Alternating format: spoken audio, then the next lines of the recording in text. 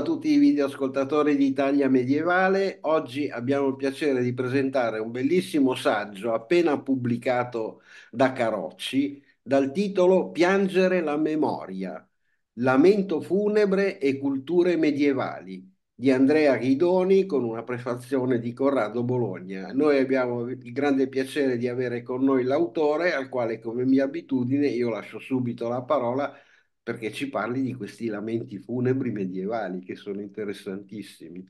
Prego, a lei.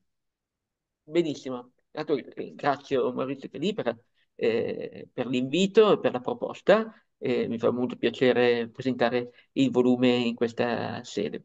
Allora, mh, mm, voglio in maniera molto breve sintetizzare i contitu- contenuti del, del mio lavoro. Partirei dal sottotitolo Lamento funebre e culture medievali. Eh, c'è una, un contrasto, una forma al, al singolare, lamento funebre, e una forma al plurale, culture medievali, che è un po' la dialettica tra, eh, che attraversa il mio libro, tra una prospettiva, diciamo, antropologica, quella del lamento funebre, quindi una forma al singolare, diciamo, teoricamente universale, quanto il lamento funebre è un rito, è una costumanza costume più o meno eh, diffusi moltissime culture eh, umane e il, le culture medievali. Non una cultura medievale, ma una pluralità eh, di culture medievali proprio per far emergere il modo in cui questa forma, diciamo, universale, tra virgolette, potremmo meglio definirla, eh, si entra in dialettica, entra in, eh, in dialogo con la pluralità, la polifonia eh, del mondo eh, medievale. Allora, cos'è questo lamento funebre da, da cui eh, partiamo, questa forma singolare? Eh, naturalmente dovremmo eh, partire dal classico, da un'opera classica sul lamento funebre, che è Morte e pianto rituale di eh, Ernesto De Martino, un libro che parla poco di Medioevo, però è un libro che è un classico della filosofia, della eh, storia delle religioni, dell'antropologia eh, italiana e, diciamo, eh, bisognerebbe diciamo, conoscere al di là degli interessi eh, sul Medioevo. È un libro bellissimo, peraltro scritto anche in maniera molto eh, elegante. Che cosa dice De Martino in sostanza?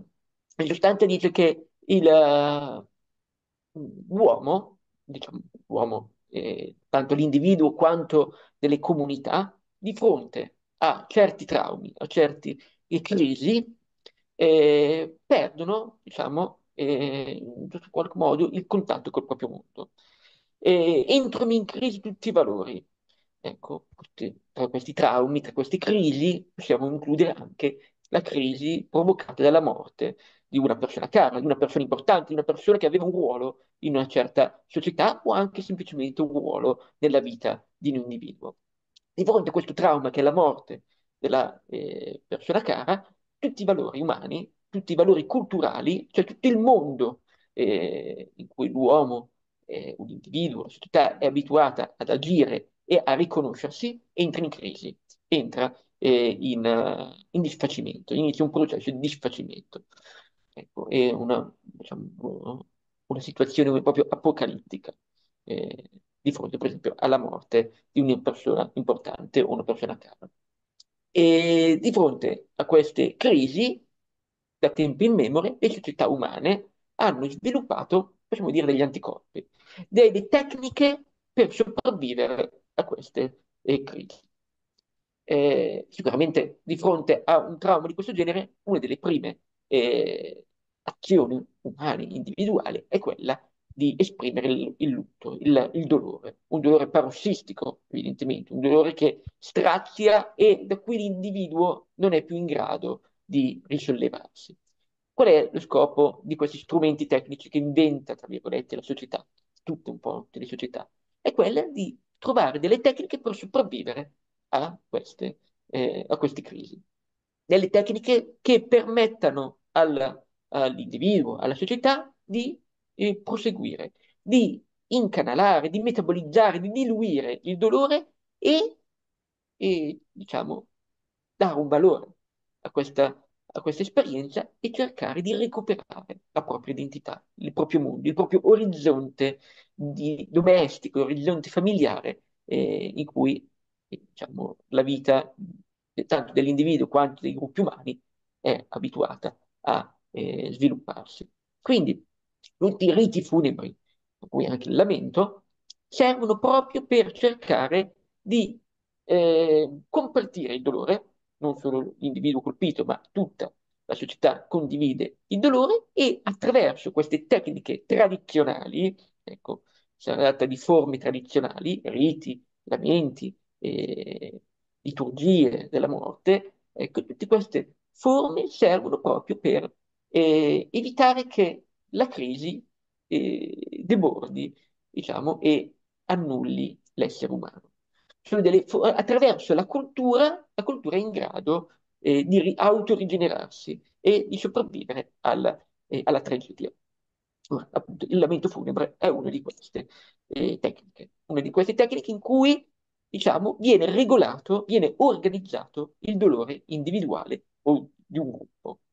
Ecco, sono proprio delle, eh, non è lasciato all'individuo il compito di eh, metabolizzare il dolore, ma viene eh, esercitato, viene eh, elaborato attraverso delle forme tradizionali, forme che la società ha già stabilito nel corso delle generazioni. Eh, il lamento funebre naturalmente è diffuso soprattutto a livello folclorico, De Martino, eh, De Martino si occupa soprattutto del eh, lamento antico e del lamento folclorico che ai suoi tempi, negli anni 50, ancora resisteva in certe eh, diciamo, aree meno civilizzate, soprattutto dell'Italia meridionale, nella Lucania, la stessa Lucania eh, di, di, Carlo Levi, del Cristo si è formato e, a, a Eboli. Eh, quindi queste zone ancora resisteva questo elemento fol eh, folclorico, eh, questo elemento funebre che era appunto eh, diffuso fino a pochi tempo prima, adesso ormai ovviamente sono poche le, società, almeno nell'Europa civilizzate, che mantengono questo costume, ma magari in altre aree del pianeta ancora questo costume è conservato. Quindi da sempre eh, nel folklore, nella cultura popolare, il lamento funebre ha esercitato un ruolo molto eh, importante. Anticipo che non parleremo del libro quando parleremo adesso di, tra poco di Medioevo, non parleremo di lamento folclorico, ma parleremo di lamento letterario. Giusto una parentesi di anticipazione. Comunque, che cosa eh, diciamo, dice questo lamento? Che cosa eh, il lamento funebre a tutte le latitudini? Che cosa eh, che antropologia presenta? Che immagini dell'umanità presenta? Innanzitutto è un'espressione di dolore ovviamente. Quindi uomo, il lamentante, possiamo dire il soggetto che lamenta, che può essere singolare quanto plurale, il, eh, il lamentante esprime tutto eh, il suo dolore. Il dolore che si manifesta nella autodistruzione del soggetto, il soggetto non è più in grado di mangiare, di, eh, di parlare, di pensare, è, è, ossessionato ovviamente, non riesce a superare eh, il lutto, riconosce come evento drammatico e dirompente la morte della persona cara e quindi, diciamo, annulla se stesso e il proprio mondo in questo dolore. Ma allo stesso tempo il non si rivolge solo al presente, il lamento funebre, si rivolge anche al passato. I lamenti funebri includono anche una memoria del, de del defunto. Il defunto viene rappresentato come una sorta di eroe, di eroe del passato.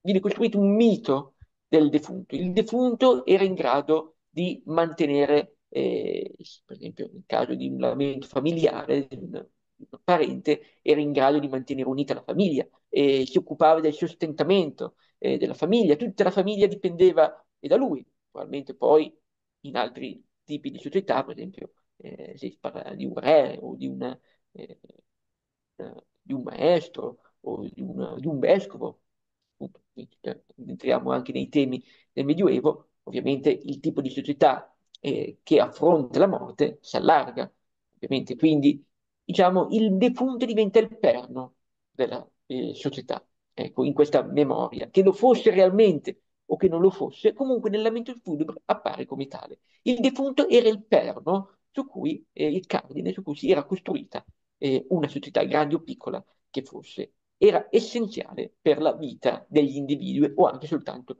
di un individuo eh, soltanto. Quindi ci si rivolge al passato e si costruisce questo mito del defunto, un defunto eroe, infatti lo chiamo eh, nel mio libro, nel senso che eh, è una, una, figura quasi mitica, ecco, una figura storica, reale, che eh, le persone che lamentano hanno effettivamente conosciuto e che nel lamento viene trasfigurata in senso mitico. Ecco, tutto il mondo dipendeva eh, da questa persona, una volta che questa persona cessa di vivere, il mondo si sfalda. Ma non c'è soltanto una prospettiva sul presente e sul passato, nel lamento funebre, ma anche sul futuro. Il problema è eh, nel presente la memoria degli individui si è annientata, non ci si ricordano più di cosa fossero, ecco, di cosa, cosa siano. Il, um, nella, nel passato si costruisce una memoria mitica, nel passato una memoria che eh, si ricordi il defunto come fosse stato il perno, eh, l'elemento essenziale per gli individui eh, che lo piangono. Per il futuro, invece, bisogna cercare di far sopravvivere una memoria, la memoria della società che si deve perpetuare, deve superare il, il defunto e allo stesso tempo si cerca di ricordare, eh, di mantenere, di far sopravvivere la memoria della persona scomparsa. Facciamo un esempio, attraverso vari eh, procedimenti rituali. Per esempio, nel Medioevo un eh, diciamo, procedimento, una tecnica eh, rivolta al futuro molto diffusa è la preghiera, la preghiera a Dio affinché salvaguardi la, l'anima del defunto nella, nell'aldilà. Che cosa comporta questo? Vuol dire che il defunto, in un certo modo, è eh, conservato nell'aldilà. Quindi la memoria del defunto, così più o meno le sue caratteristiche personali, individuali, come erano state conosciute dagli individui quando erano ancora in vita, eh, si mantengono anche nell'aldilà. Ma soprattutto per, il, eh, per i viventi, per i sopravviventi, è una eh, consolazione. Ecco, quindi in questo modo pensare che il defunto sia nell'aldilà, poter pregare Dio tutti i giorni, attraverso anche varie forme liturgiche come delle messe o eh, visitando il sepolcro, visitando le reliquie di questo defunto, si possono eh, diciamo, mantenere, eh, il, mantenere il ricordo, l'identità nelle società e appunto pregando Dio si mantiene in vita in qualche modo il defunto. Quindi i lamenti funebri non sono soltanto dolore, ma sono delle prospettive che costruiscono, ricostruiscono il presente, il presente ormai è annullato, è, è, si vive nel dolore, nella distruzione, si costruisce un passato, un passato che è mitico sostanzialmente, in cui il defunto era il perno di una società e, il, e no, si costruisce anche una prospettiva sul futuro. Non è la fine di tutto, non è un mondo che finisce e che ormai è eh, annullato, è annientato, ma nell'ambito funebre si può proseguire, si intravedono delle prospettive eh, simboliche per mantenere la memoria tanto del defunto quanto del, eh, della società e soprattutto per chi eh, lamenta, chi, per chi produce il lamento è importante soprattutto la preservazione dei sopravviventi della società in modo tale che la vita possa in qualche modo continuare. Questa allora è una presentazione molto sintetica di cosa significhi lamento funebre tanto in generale nella letteratura antropologica in Ernesto Di Martino, quanto eh, diciamo, nel, la, nell'opera che presentiamo. E veniamo allora finalmente al Medioevo. Eh, al Medioevo. Che tipo di lamenti ci ha lasciato il, il Medioevo? Naturalmente non ci ha lasciato lamenti folclorici, lamenti di tutti i giorni, i lamenti che venivano eh, diciamo, pronunciati effettivamente dal, diciamo, dal volgo, dal popolo, e, e via dicendo. Queste sono tradizioni ovviamente sommerse, tradizioni effimere, non mai scritte, quindi solamente nel momento in cui venivano pronunciate erano, eh, scomparivano, sono state delle tradizioni che sostanzialmente possiamo ricostruire attraverso il folklore moderno, un po' come faceva De Martino per il, eh, il lamento antico. Ecco. Sostanzialmente, se andassimo a vedere come i contadini della Lucania piangevano i loro defunti negli anni 50, possiamo immaginare più o meno che le loro eh, forme tradizionali erano anche quelle usate, impiegate nel, eh, nel Medioevo. No, noi non ci occupiamo di lamento folclorico per il Medioevo proprio perché non ne abbiamo traccia, io mi sono occupato di un altro, eh, tipo di lasto del Medioevo, che è il lamento letterario. Perché il Medioevo, anche rispetto all'antichità, rispetto ad altre eh, epoche della storia europea, si caratterizza proprio per una grandissima produzione letteraria, quindi a livello colto, a livello eh, scritto, di lamenti funebri.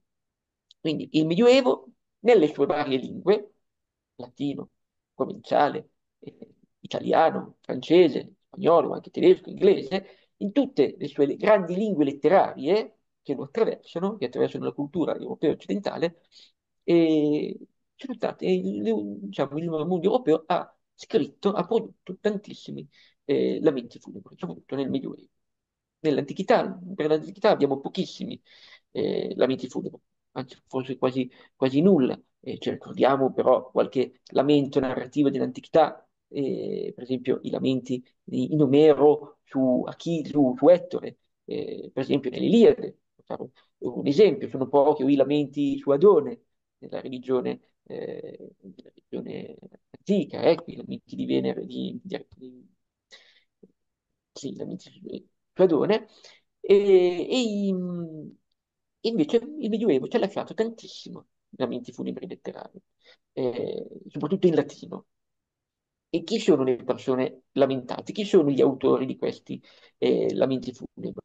Allora, cominciamo a parlare dei funebri in latino, che poi sono anche quelli più eh, numericamente cospicui, quelli più numerosi. Si tratta di circa un centinaio di testi che vengono scritti dall'epoca carolingia eh, fino al, al 200-300. Questo arco temporale molto lungo. Chi sono eh, i defunti di questi lamenti funebri? Sono soprattutto personaggi illustri, sicuramente come facilmente intuibile, e sono quindi imperatori, re, grandi vassalli, grandi signori feudali, duchi, conti, e dicendo, ma anche eh, personaggi della vita ecclesiastica, quindi della gerarchia ecclesiastica, vescovi, abati, monaci di un certo rilievo. Ecco, papi non ce ne sono di, di lamenti funebri sui papi, e ce ne sono però molti sui vescovi, sugli uomini di chiesa.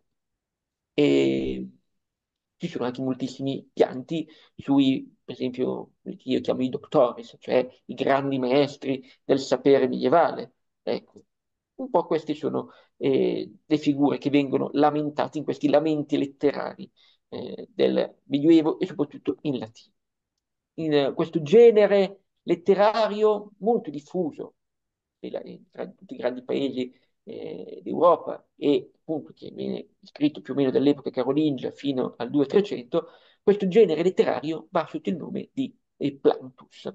Ecco, è eh, conosciuto col nome di Plantus, cioè pianto in latino. È un genere letterario eh, del latino medievale molto eh, diffuso in cui si applicano, eh, si mettono alla prova diversi poeti, conosciamo per nome o anonimi, eh, molti poeti di, queste, di questi secoli.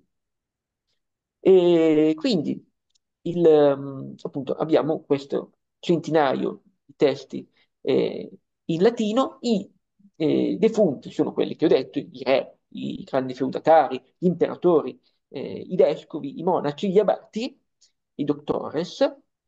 Chi è che scrive questi eh, lamenti funebri? Sono soprattutto eh, poeti, ovviamente persone, personaggi colti, quindi chierici, che fanno parte del Medioevo, eh, diciamo, la cultura alfabetizzata è appannaggio soltanto eh, degli uomini di chiesa, del chiero, eh, chiero tanto delle abbazie quanto eh, delle cattedrali, e questi, mm, questi chierici, questi poeti, scrivono o per un impulso personale, oppure molto spesso per committenza. Quindi scrivono perché il, attraverso il lamento funebre letterario viene mantenuta, in un certo senso, la memoria eh, del defunto illustre. Ecco, viene scritto anche per conto della famiglia, perché attraverso questi, eh, questi, poi, questi lamenti funebri venivano anche accompagnati dalla musica, erano eh, musicati quindi non si componeva soltanto il testo, ma venivano eh, musicati e spesso venivano utilizzati in occasioni liturgiche o paraliturgiche, quindi per esempio durante le messe di suffragio. Quindi non si tratta di lamenti che venivano pronunciati immediatamente, do, subito dopo la morte del grande defunto, venivano scritti presumibilmente nelle settimane o nei mesi seguenti eh, la morte e venivano utilizzate in circostanze non particolarmente drammatiche come poteva essere il funerale, ecco, eh, ma in occasioni eh, di propaganda politica, di eh, propaganda religiosa, quindi in momenti, durante le messe di suffragio, di memoria eh, del defunto. Questa è la funzione dei lamenti funebri eh, letterari latini. Ecco, poi vedremo altri, eh, altre funzioni di altri lamenti in altre lingue. Quindi, che cosa si dice, per esempio? Quelli, partiamo dai due più antichi lamenti funebri che ci sono conservati. Vediamoli eh, brevemente.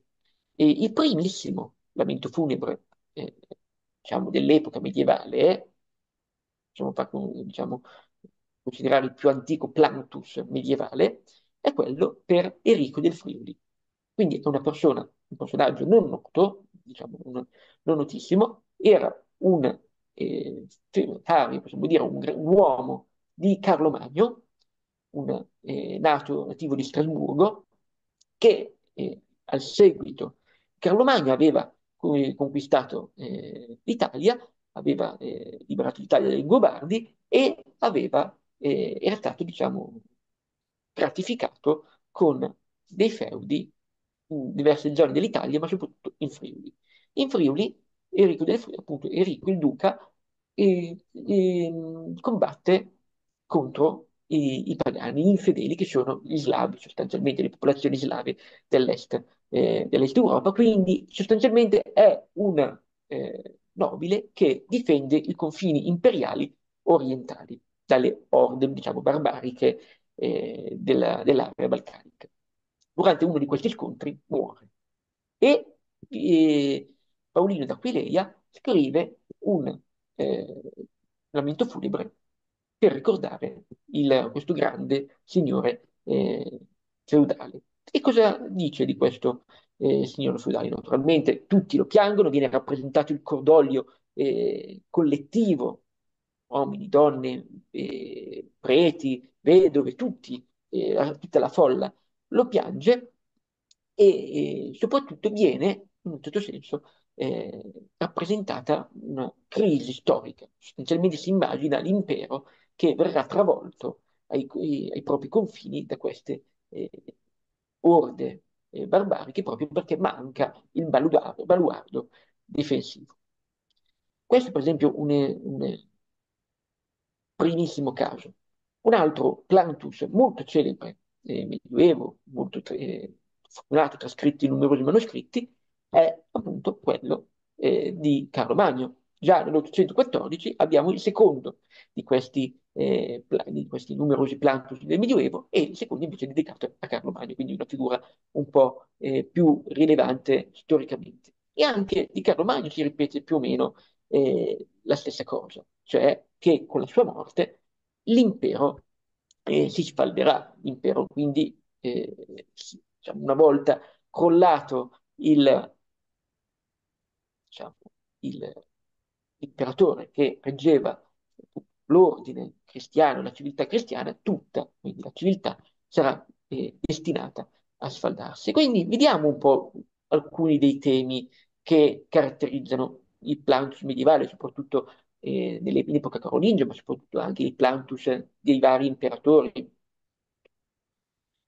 epoca ottoniana e via dicendo, una piccola tradizione di plantus eh, imperiale. Vediamo quali sono i temi, soprattutto dei, dei plantus politici. E cioè il fatto che, ed è proprio una caratteristica della società medievale, la morte del sovrano, sia il sovrano regionale, diciamo il grande feudatario, il grande vassallo, o il sovrano universale, che è l'imperatore, nel momento in cui manca questo, eh, questa figura illustre, la civiltà è destinata a eh, cadere. La società cristiana eh, verrà travolta. Ecco, questo è un tema molto importante dei plantus eh, medievali, ecco, dei plantus latini eh, medievali, proprio perché è stato incorporato in un certo senso questo tema, che ovviamente è eh, successivo alla caduta dell'impero romano, del fatto che una volta venuto a mancare eh, l'individuo, cessi anche eh, sostanzialmente la civiltà cristiana, la civiltà eh, europea, la civiltà eh, diciamo, rappresentata di molte volte dal, eh, dall'imperatore o da un re o da un vassallo che difende eh, le frontiere.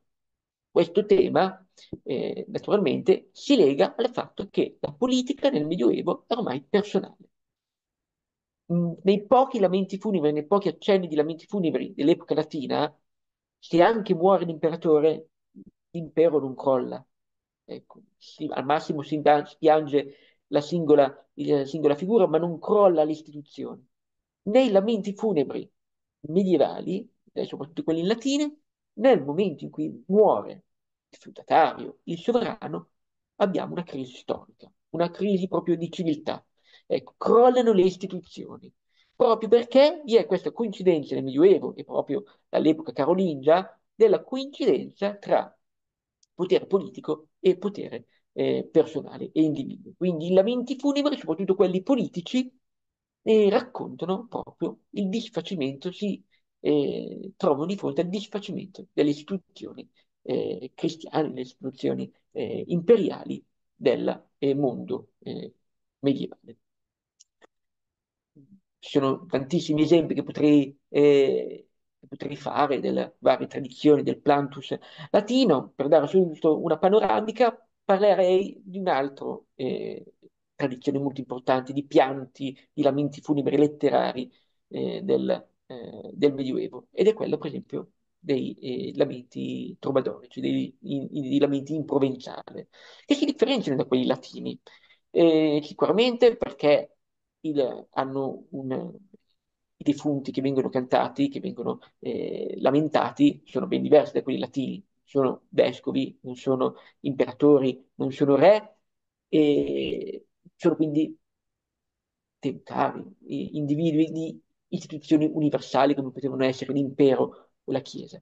I pianti trovadorici in provenzale, più o meno, eh, il primo viene scritto nel 1137 da Cercamon e l'ultimo, eh, gli ultimi diciamo, sono quelli del, del 300, quindi diciamo, si sviluppano su un arco di circa 300 anni, 200-300 anni, i lamenti trovadorici, i mh, plagni, appunto, come si chiamavano i planitus, quelli latini, in provenzale si dice plagn, quindi pianto, questi pianti provenzali invece si eh, concentrano su quali individui? Sempre piccoli signori eh, della Francia meridionale, o dell'Italia settentrionale o della eh, Catalogna diciamo, le aree in cui la cultura trobadorica era maggiormente diffusa. Si tratta di piccoli signori feudali, non di certo re, abbiamo qualche esempio di plan per i re, eh, ma mh, abbastanza eccezionali, in generale i pianti trobadorici si occupano di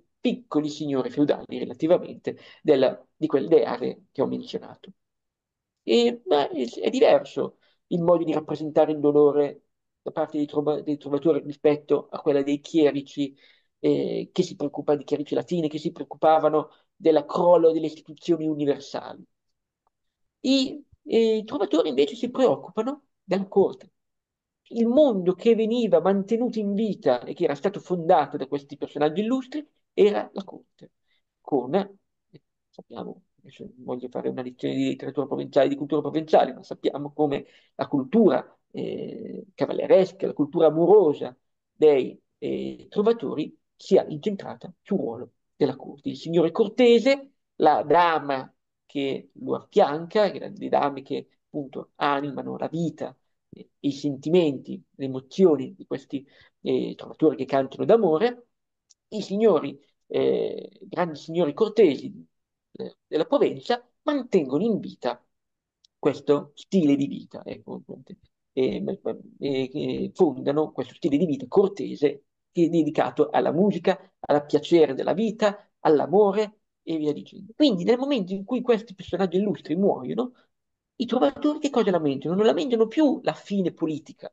la fine istituzionale, addirittura la crisi della civiltà cristiana e diciamo, europea, ma lamentano la fine del, di uno stile di vita, la fine della corte, cioè la fine anche dell'amore. Non si può più cantare d'amore. Ecco, anzi, eh, è anche più metalitterario il pianto trobadonico per un certo senso, perché proprio il trovatore dice io smetto di fare poesia. Ecco, la poesia, il canto d'amore, il canto trobadonico in generale, non è più possibile. Questi sono temi che non esistono nel, nei lamenti latini, che sono invece più eh, politici e che si, appunto, hanno temi differenti, affrontano temi differenti. I lamenti trobadorici si preoccupano soprattutto del, eh, della corte, della vita culturale della corte. Ecco, non è più possibile cantare d'amore, non è più possibile, eh, diciamo, danzare, eh, provare il joy, cioè la gioia, che era l'emozione eh, prevalente nell'attività eh, trovatorica. Quindi diciamo, il plantus latino, che ho voluto riassumere, sintetizzare proprio al limite, e il plan trovatorico sono le due grandi tradizioni di lamento lirico del, eh, del Medioevo. Sinteticamente, molto brevemente, accenno ad altre tradizioni di lamentazione eh, funebre letteraria sempre del, eh, del Medioevo, che per esempio possiamo immaginare anche il lamento di eh, Carlo Magno su Roland, quindi tutti i lamenti narrativi che potremmo citare. Alcuni dei temi che ho citato vengono, eh, che ho menzionato prima, vengono riutilizzati anche nella eh, lamentazione epica. Il lamentante per eccellenza è il re, il re che lamenta il proprio, eh, il proprio eroe, i propri cavalieri e diciamo, fin quando il re non si risolleva da questo lamento funebre, la società non può proseguire. Il, la crisi non è tanto nei lamenti nella chanson di Roland o nelle altre lamentazioni epiche eh, dell'epica medievale, non è tanto il problema la morte in sé del, dell'eroe. Il pericolo è il lamento funebre, paradossalmente che viene considerato come un pericolo, perché il re non è più in grado, come diceva De Martino, non è più in grado di superare la crisi, la crisi della presenza, come diceva eh, De Martino, e il re non è più in grado di eh, proseguire. Quindi il problema non è più tanto la perdita del frutto, quanto la sopravvivenza della società e del re come figura eh, che regge questi destini, proprio perché il re è inconsolabile di fronte al lutto e alla morte del proprio cavaliere. Carlo Magno riesce a sopravvivere. Alla fine, grazie ai suoi vassalli, a Namo di Baviera in particolare, eh, nella Chanson di Roland, riesce a superare il, eh, il, lutto per la morte di Roland. Ecco, eh, invece, chi non sopravvive? Il, uno dei protagonisti di una altra epopea molto fortunata eh, nel Medioevo, eh, si conosce benissimo la saga dei Nibelunghi, Nibelunghi, questo eh, poema medio-alto eh, tedesco, eh, la storia di Siegfried e Crimilde è abbastanza nota, meno nota è il fatto che già negli stessi anni in cui veniva composto questo poema, e anzi in tutti i manoscritti, eh, diciamo, viene presentato questo connubio, in, negli stessi anni viene scritto quasi subito una sorta di sequel, di seguito del Nibelunghi e che è la Nibelungenklage, cioè il lamento dei Nibelunghi. Che il Nibelunghi vuol dire il canto dei Nibelunghi, viene scritto questo altro poema di circa 4.000 versi sul lamento dei Nibelunghi. E cosa racconta questo, eh, questo poema? Che appunto in tutti i manoscritti eh, segue sempre il canto dei Nibelunghi. Era, magari adesso al giorno d'oggi non è più tanto noto, ma nel Medioevo era sempre associato alla tragedia dei Nibelunghi. Sappiamo che poema finisce con la morte sostanzialmente di tutti quasi, tutti i, i Burgundi e gli Unni che sono stati invitati a tradimento alle notti di Cremilde e, e, ed Attila, e alla corte degli Unni di Attila, e si consuma questo massacro che è stato causato da Crimilde che vuole vendicare la morte del marito Sigfrido, proprio senza riassumere eh, la trama. Che cosa è la, il lamento dei, dei Nibelunghi? È sostanzialmente un poema di 4.000 versi in cui Re Attila, che è uno dei pochi sopravvissuti alla, al massacro generale, Re Attila lamenta tutti i morti e i cavalieri questa, che si sono ammazzati a vicenda eh, nelle sale del suo palazzo. E a differenza di Carlo Magno, non riesce a sopravvivere, nel senso che a causa del lutto, a causa del lamento, il lamento di Attila non si chiude mai. Ecco. E così eh, il personaggio sostanzialmente non supera la crisi della presenza, il suo regno si sfalda. Ecco, tutti il suo popolo, Attila, che fino a, eh, diciamo nel, caso dei Nebelunghi, è un sovrano potentissimo, a causa di questa incapacità di, su- di superare il lutto, le, il regno di Attila si sfalda. Ecco, I suoi cavalieri lo abbandonano, la corte eh, rimane deserta e via dicendo. Quindi vedete, si, si può vedere come eh, abbiamo dei lamenti funebri letterari, lirici, su dei personaggi storici effettivamente, eh, diciamo, effettivamente vissuti, che appunto si preoccupano di mantenere in un certo senso la memoria nella liturgia o nelle altre occasioni in cui venivano cantati questi planutus, cercano di mantenere la memoria dei defunti. Il lamento funebre narrativo invece si pone un altro problema, soprattutto nei poemi epici, cioè sopra- la sopravvivenza della società nel momento in cui il re non è più in grado di superare il dolore, di superare la fase del lamento. Chiudo con l'ultima eh, importante tradizione del eh, lamento funebre medievale, che è quella del eh, pianto della Vergine, del pianto eh, di Maria. Quindi non soltanto il Medioevo piange gli eroi del passato, diciamo, nella narrazione, come Roland o i Nebelunghi, non soltanto piange le persone illustri del suo tempo, come Carpomagno o i vari vescovi e signori feudali, ma piange Dio stesso. Proprio la, la, la caratteristica, la novità, diciamo, della religione medievale è proprio quella del Dio che muore, cioè, è proprio un elemento proprio solo della, eh, della religione medievale, anche nelle religioni eh, antiche aveva un po' questo motivo, ma nel Medioevo, appunto, gran parte della religione è orientata attorno al Dio che muore e risorge. E nel, appunto, attorno al eh, nono secolo, soprattutto a Bisanzio e poi nei secoli, nei secoli seguenti in Occidente, in, nel mondo latino, nel mondo cattolico, si sviluppa anche il problema di come piangere Gesù. E chi è che piange Gesù soprattutto? È la Vergine. Quindi con lo sviluppo del culto della Vergine, soprattutto dal IX secolo in poi, e un po' più tardi nel Medioevo occidentale del X-XI secolo, quando il culto della Vergine si diffonde, ecco che si viene anche sviluppata l'idea che la Vergine pianga Gesù sotto la croce, pianga eh, per la sofferenza, la passione e la morte del proprio figlio. Ricordo che si tratta di leggende e eh, immagini apocrife, perché nei Vangeli canonici Maria si dice soltanto che Maria stava, viene, Maria viene menzionata sotto la croce soltanto da Giovanni, e si dice che Maria stava sotto la croce in piedi, accompagnata da Giovanni appunto. E non si dice nient'altro. È il Medioevo che inventa questo pianto della Vergine, costruisce delle leggende apocrife sul pianto, sulla, eh, sulla ricerca da parte della Madonna piangente del figlio che viene portato, eh, viene sballottato da qua e là durante il, il processo e poi viene portato eh, sul Golgota. E appunto vengono costruite queste leggende, questi eh, pianti sulla, eh, queste canzoni, queste laude, appunto in italiano soprattutto, eh, che vengono, che raccontano appunto la lamentazione della, di Maria, esprimono il dolore di Maria. E le comunità, le confraternite religiose laiche, soprattutto eh, sappiamo che nella, eh, tra la fine del 200 e l'inizio del 300 in Italia si sviluppano le confraternite laiche che cercano di eh, diciamo, animare la vita religiosa delle città, queste confraternite piangono e diciamo, adottano dei canti collettivi in cui viene messo in scena il, viene messo in scena il dolore della Vergine. Ecco, la Vergine si fa mediatrice del lamento eh, su Gesù.